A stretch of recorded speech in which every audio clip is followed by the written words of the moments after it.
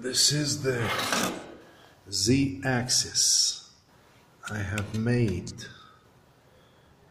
out of few junk pieces actually.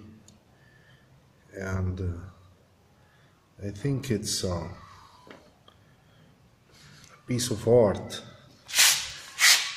Really it's a piece of art of junk it's nice.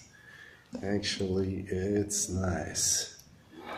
Anybody will be interested in uh, how I made it I'll be glad